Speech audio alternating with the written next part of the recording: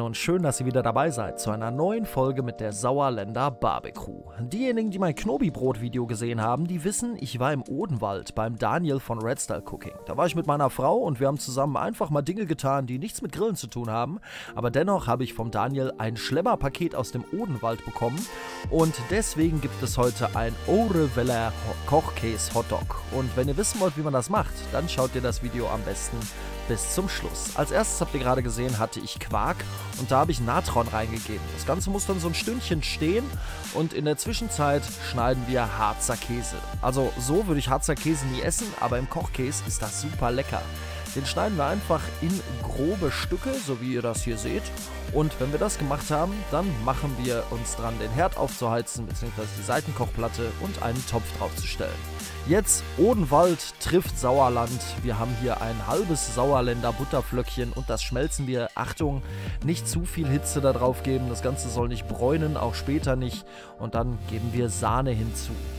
Das Ganze verfeinern wir jetzt mit dem Harzer Käse und rühren das ein. Jetzt müsst ihr schnell sein, ja, also ihr müsst rühren, rühren, rühren. Das darf nicht anbacken und die genauen Rezeptangaben, die findet ihr wie immer am Ende vom Video.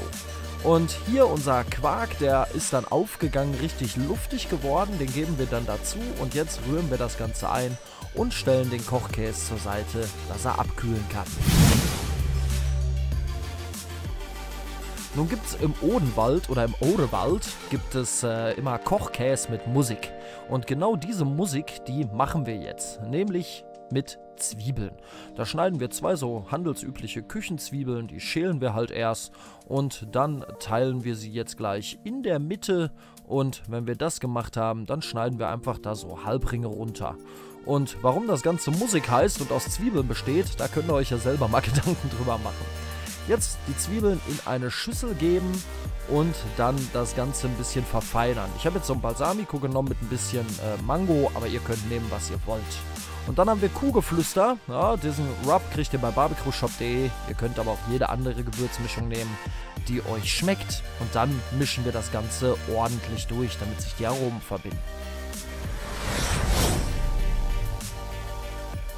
Nun zu meinem Schlemmerpaket aus dem Odenwald. Hier, ihr seht, das ist die Odenwälder Metzgerei. Ich weiß auch gar nicht, was das für Würstchen sind, aber die grillen wir jetzt. Und ähm, so viel sei versprochen, die sind gefüllt mit Käse und ich vermute ganz stark, dass das vielleicht sogar Kochkäse sein kann. Sind auf jeden Fall super lecker.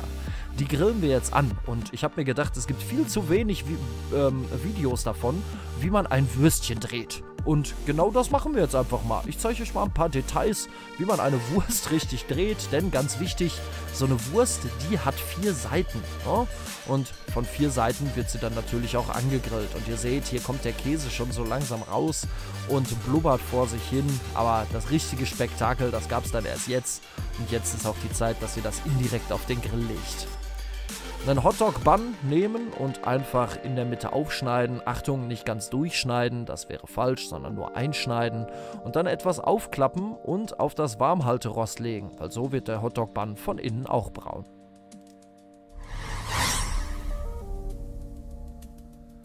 Kommen wir nun zum Zusammenbauen und da nehmen wir als erstes mal unser Würstchen. Erinnerte mich so ein bisschen an so eine Krakauer. Und da geben wir dann den Kochkäse drüber. Der ist jetzt noch ein bisschen flüssig. Ich habe aber gleich für alle Zweifler aus dem Odenwald noch ein Video, wie er aussah, als er dann wirklich komplett abgekühlt war. Also ordentlich Kochkäse da drauf. Und jetzt die Musik. Oh, Buftata oder so. also ordentlich was von der Musik oben drauf verteilen. Und zum Schluss ein bisschen Angebergrün in Form von Petersilie. So, das sieht nicht nur gut aus, das gibt der ganzen Sache auch noch ein bisschen Frische. Und dann könnt ihr euch das schon schmecken lassen. Und ich sage euch, dieser Kochkäse zusammen mit diesem äh, herzhaften Würstchen und der Musik obendrauf, mega.